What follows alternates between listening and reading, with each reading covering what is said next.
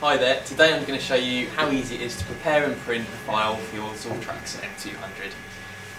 So to start off, I'm just going to open up Z Suite. Okay, so then just drop your STL file into Z Suite, like so. And there you go. You can use these tools on the side just to um, take a look at it closer and check that it's all going to print okay. Uh, let's have a look, going a bit closer in and that all looks fine. We shouldn't need support for this this file. So um, with all that in mind, you can you can resize it as well. Um, just go to this menu here, enter your desired percentage to scale it, and then just reset that. And then you have the option of save saving these settings and coming back to them, or printing. So if we select print, and then the first thing you want to select is the material that you're going to print with. So ZABS in this case, and then your layer thickness. And we're going to go with uh, 90 microns on this print.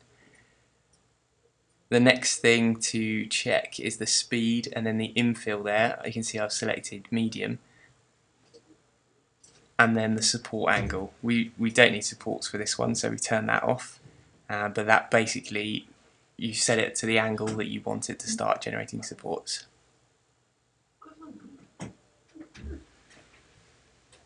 And then that will just render everything out. And generate your uh, Z code ready to ready to uh, be printed as you can see it sliced it all up and created the um, the the, uh, the raft there. And you can use these different options to have another look at the file just to check that it's all okay. And you'll see any supports in this menu as well if they've been generated. And the details along the bottom tell you exactly how long it's going to take and how much filament it's going to require um, which is really useful so once you're all happy, just go save to print. Uh, if we do that now. And then just give it a name and save it to your SD card.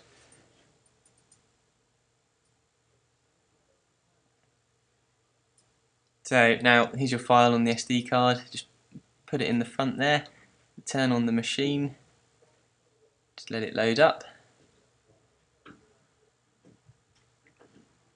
And then in the menu uh, you just go to models and find the file that you've just created. In this case it's called house.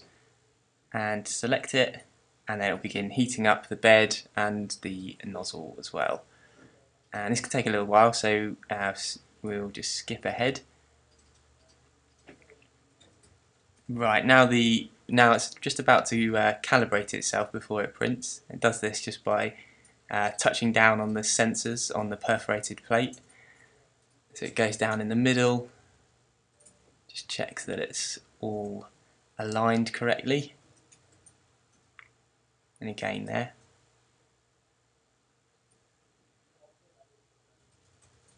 So the nozzle is fully up to temperature at this point and then it just begins to print. As you can see, it's really squirting out quite a lot of uh, filament on these first few layers. And these just create a really solid foundation for the print on the uh, perforated bed. Just forces any any of that ABS down into the down into the holes and grips on really well.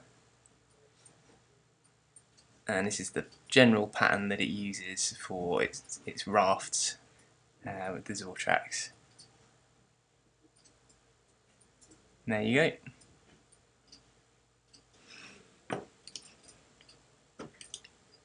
And you may have noticed that our nozzle is looking pretty grubby. Um, if you look at one of our other videos that we've uploaded, you'll be able to see how to clean this. Um, and there is a link in the description below this one. Right, and so let's uh, let's see what the print turned out like. And you get a scraper in the box with the M200, which is really useful actually for getting the prints off. Just want to give it a good scrape, being careful not to damage the print.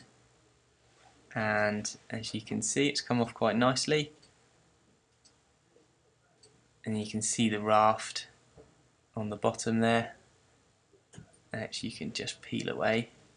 Be a little tricky. You make sure make, you want to make sure that you don't um, cause any damage to the bottom of the print.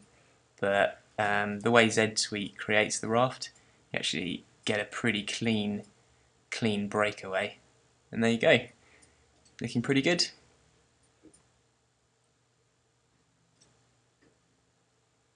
You can also um, download and print this house yourself if you want. Um, we've uploaded it to Thingiverse, um, so feel free to check that out too.